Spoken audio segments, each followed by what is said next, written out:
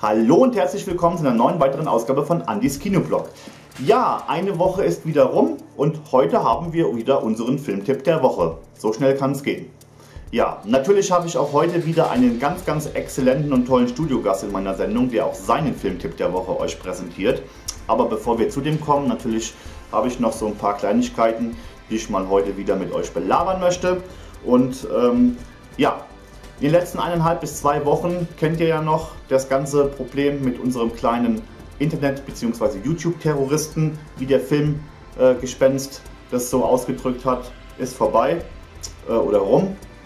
Und ähm, muss ganz klar sagen, dass diese Zeit jetzt ohne diesen kleinen Terroristen mir sehr, sehr gut getan hat. Die ganze Last ist jetzt von meinen Schultern und ich glaube, bei dem einen oder anderen geht es genauso von euch. Und wie gesagt, ich bin froh, dass das Ganze so gut ausgegangen ist, dass wir das gut geregelt haben. Und dazu möchte ich auch nochmal äh, ein ganz, ganz großes Dankeschön an das Filmgespenst senden und natürlich auch an äh, Thorstens Filmkritiken, der hier auch sehr seriös und anständig gehandelt hat. Oder auch an den Markus. Aber wir können jetzt so viele Leute noch nennen, aber das würde jetzt gar nicht mehr reichen, die Zeit. Und ähm, das waren auch so die Hauptbetroffenen. Und ähm, ich bin froh, dass wir als Community doch zusammenhalten. Ich muss ja sagen, dass ich ja noch mehr oder weniger ein Neuling in der ganzen Szene bin und dass ich halt äh, sehr früh mit solchen Problemen konfrontiert worden bin, konnte ich nicht ahnen, dass sowas über YouTube überhaupt möglich ist, weil ich wollte Unboxing-Filme machen, um den Leuten äh, oder mit den Leuten mich nicht zu ärgern oder dass es überhaupt da Ärger gibt über YouTube, sondern ich möchte einfach mit meinen Videos Leute erreichen, die auch Filme mögen und ja, Bock haben auf Filme und ähm, denen natürlich meine Editionen oder meine ganzen Schätzchen zeigen kann und natürlich vielleicht kann ich dann bei dem einen oder anderen dadurch eine Kaufentscheidung herbeiführen und wenn derjenige dann dadurch glücklich ist, bin ich zufrieden und alles ist gut. Also wie gesagt, ich bin froh, dass die Community so schön zusammenhält und äh, daher nochmal danke und ich bin froh, dass dieses Thema jetzt endlich ad acta gelegt wurde oder gelegt ist. Gott sei Dank. Ja, ähm, ich hoffe, ihr habt dieses ganze Pfingstwochenende in Harmonie und äh, mit Freunden oder Familie verbracht. Ähm, leider war das Wetter ja zwischendurch in Deutschland ja wechselhaft. Bei uns war es zwar warm, aber es war immer wieder kleine Schauer, dann mal wieder Sonne, dann hat es immer wieder richtig geknallt, die Sonne ohne Ende, dann gab es wieder Regen und so weiter und so fort. In einigen Deutschland, Teilen Deutschlands war es ja richtig warm.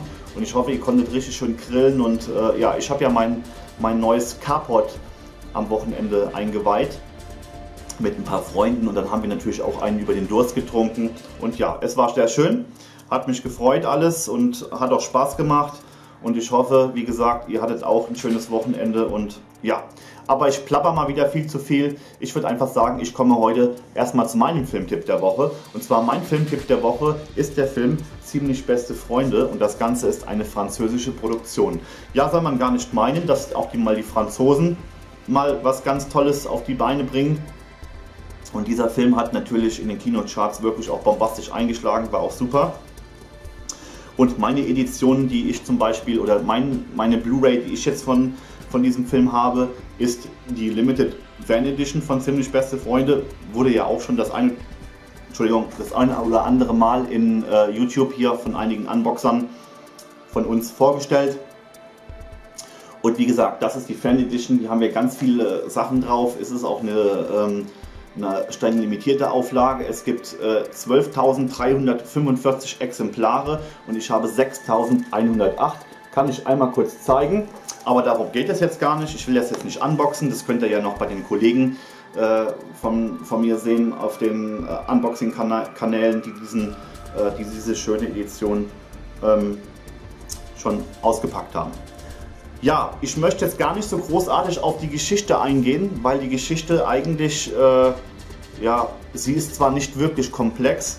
Es geht hier um, eigentlich um zwei Menschen, die aus komplett verschiedenen ähm, Lebenswelten kommen. Der eine ist reich, ist querschnittsgelähmt, der andere kommt aus äh, einem französischen Ghetto, mehr oder weniger, ist ein äh, Schwarzer und ist arbeitslos.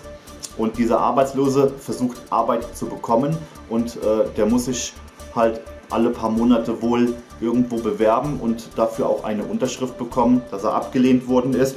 Und er hat sich halt an diese Situation so stark daran gewöhnt, dass er nie eine Arbeit bekommt oder dass er keine Chance bekommt. Wahrscheinlich aufgrund erstens mal der, der wirtschaftlichen Situation und natürlich wahrscheinlich wegen seiner Hautfarbe.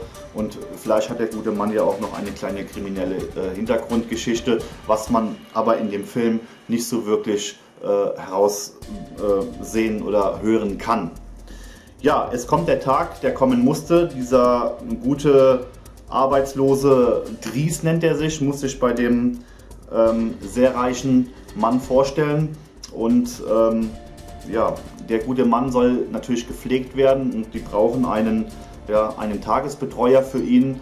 Und ähm, er stellt sich davor, ging schon davon aus, dass er eigentlich abgelehnt wird und er soll aber am nächsten Tag wiederkommen und dann geht die ganze Geschichte eigentlich los. Ja, es kommt so, wie es kommen muss. Der gute Dries wird eingestellt, mehr oder weniger, oder ähm, ja, durch eine Wette, eher gesagt, sagte er so, dass äh, er es keine, also er würde wetten, dass er es keine zwei Wochen hier aushalten würde und ja, diese Wette ist er eingegangen. Er darf auch in diesem tollen Anwesenhaus wohnen und ist dann länger wie zwei Wochen dabei. Und natürlich aus dieser ganzen Geschichte entsteht eine super dicke, fette Freundschaft.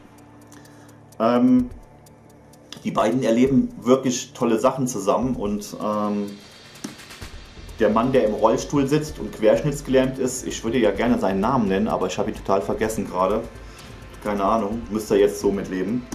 Ähm, bekommt auch neue Lebensqualität und kann wieder leben, trotz seiner, äh, trotz seiner Behinderung. Das Schöne an dem Film ist halt, dass ähm, hier Witz, Humor, äh, ein kleines bisschen Action auch mit eingepackt wird.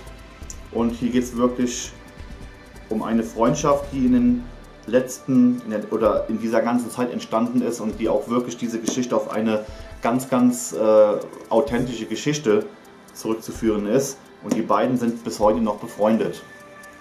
Ja, ähm, ich kann oder will auch gar nicht mehr viel zu dem Film sagen, weil ich kann nur sagen, guckt euch den Film an. Er ist zwar ab FSK 6, äh, ab FSK 6 also man kann hier nicht wirklich davon ausgehen, dass hier Gewalt oder Action oder explodierende Autos ähm, in diesem Film zum Vorschein kommen. Also für diejenigen, die den Film noch nicht gesehen haben.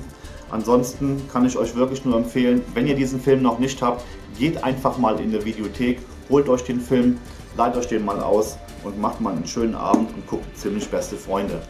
Ich muss gestehen, ähm, ich habe den Film auch erst vor einiger Zeit geguckt. Er ist ja schon ein bisschen länger auf dem Markt und ähm, ich habe mich immer davor gescheut, den zu kaufen, weil ich auch nicht im Kino war. Aber ich muss ganz sagen, er hat mich echt überrascht, weil er wirklich gut ist und auch lustig und zwischendurch muss man auch richtig mal gut lachen. Und es ist wirklich ein schöner Film. Ja, die Limited oder ja, limitierte Fan-Edition ist noch erhältlich bei Amazon. Ich habe sie für 19 Euro bekommen. Ähm, ich habe sie aber schon für 54 Euro beim Mediamarkt stehen sehen. Also kann ich nur sagen, zugreifen. Hier ist wirklich jede Menge Bonusmaterial drin. Ich schalte sie mal näher an die Kamera ran. Wir haben hier mehrere Blu-rays drin mit Extras. Wir haben hier mehrere DVDs drin mit Extras und dem ganzen Film. Wir haben hier eine Laufzeit der Blu-ray von 112 Minuten und eine 5.1 DTS HD Audiospur. Also das hört man auch. Der Film ist wirklich, wirklich gut gemischt worden. Also Soundqualität, Sprache. Also dieser Film, der lebt ja wirklich nur von, von äh, den Dialogen.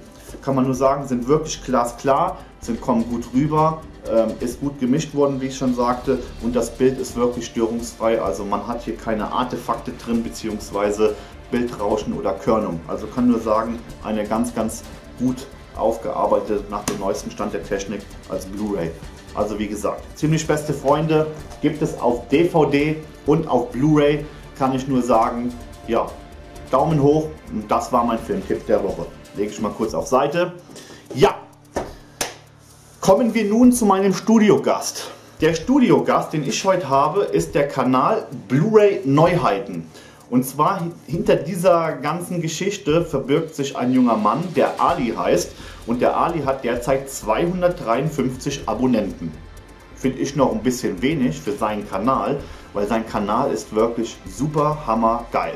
Warum ist der geil? Ganz einfach. Erstens mal, Ali präsentiert sich vor der Kamera, so wie ich das tue oder viele andere. Er zeigt nicht nur seine Hände und macht Unboxing-Videos, sondern er hat auch immer äh, die Story direkt parat, eine kleine Kritik vielleicht noch dazu und äh, recherchiert äh, das, was er sagt, auch hundertprozentig, nicht so wie ich. Manchmal laber ich ja auch irgendeinen geistigen Dünnschiss daher. Und ähm, ich kann nur sagen, er ist ein sehr, sehr sympathischer Typ es macht Spaß, ihm zuzugucken und ich würde gerne auch mehr Projekte mit ihm machen. Das war auch jetzt gleichzeitig auch ein Aufruf an ihn. Und ähm, ja, kann nur diesen Kanal Blu-ray Neuheiten euch absolut 100% empfehlen. Und Ali hat heute für mich auch, beziehungsweise für euch oder für uns auch eine kleine Filmkritik, beziehungsweise einen Filmtipp der Woche. Und ich würde jetzt einfach sagen, lieber Ali, hau rein, die Bühne gehört dir und du bist jetzt dran. Ja, danke Andi, dass ich heute in deiner Sendung dabei sein darf. Ich freue mich, den Zuschauern meinen persönlichen Filmtipp der Woche zu präsentieren. Ich habe mich für den Film Running Scared mit Paul Walker in der Hauptrolle entschieden, einfach aus dem Grunde, weil der Film meiner Meinung nach ziemlich untergegangen ist und zu Unrecht, wie ich finde, denn der Film hat ordentlich Potenzial. Es geht halt darum, dass Joey, äh, gespielt von Paul Walker, er und seine Komplizen geraten bei einer Drogenübergabe in einen Schusswechsel und dabei wurden Polizisten erschossen. Er hat die Aufgabe, die Tatwaffe zu beseitigen, nimmt sie mit nach Hause und versteckt sie in seinem Keller und bemerkt nicht, dass der kleine Nachbarsjunge Oleg ihn dabei beobachtet hat und kurze Zeit später äh, nimmt er die Waffe an sich und erschießt damit seinen brutalen äh, Stiefvater und macht sich dann hinterher vom Acker. Äh, Joey hat das Ganze mitbekommen und ist nicht sonderlich begeistert, denn er steht jetzt ordentlich unter Druck und Stress, denn er muss die Waffe wiederfinden und das Ganze erpuppt sich nicht als einfach, denn das Ganze wird für ihn wie ein Ritt durch die Hölle. Ihm sitzen äh, die russische Mafia im Nacken und natürlich seine Komplizen, denn die Waffe kann natürlich wieder zurückverfolgt werden und das Ganze ist nicht gut. Ähm, Außerdem zeigt der Film auch eine andere Seite von der Stadt Los Angeles. Ich glaube, ich spielt der Film in Los Angeles, genau. Und ähm, dass Los Angeles halt nicht nur Stadt der Engel ist, sondern auch eine ganz andere Seite hat, eine böse Seite. Und das Ganze in einer Atmosphäre, die wirklich, wirklich düster ist. Und äh, da werden Menschen gezeigt, wo man denkt, oh, die sind ganz nett und freundlich und hinterher im Dunklen zu Hause sind die ganz anders und das Ganze ist wirklich interessant zu sehen und äh, was da für Menschen ihm über den Weg laufen und der Film lohnt sich auf jeden Fall. Ja, das ist also mein Film der Woche, Running Scared mit Paul Walker in der Hauptrolle. Wer den Film noch nicht kennt, unbedingt anschauen, es lohnt sich wirklich und ja, damit übergebe ich auch wieder an Andy zurück und äh, wünsche euch natürlich viel Spaß weiterhin beim Zuschauen und verabschiede mich hiermit auf Wiedersehen. Ciao. Ja, das war der Ali mit seinem Channel Blu-ray Neuheiten und seinem Filmtipp der Woche. Und dazu nochmal vielen, vielen lieben Dank, lieber Ali, dass du das heute gemacht hast. Ganz toll. Daumen hoch. Und ja, das war sein Filmtipp der Woche. Wie gesagt, Ali hat 253 Abonnenten und ich denke, da geht noch jede Menge mehr. Also gebt euch einen Ruck, geht auf seinen Kanal, schaut euch seine Videos an. Ich finde den Kanal klasse und mehr kann ich dazu nicht mehr sagen. Ja, das war es auch schon von mir.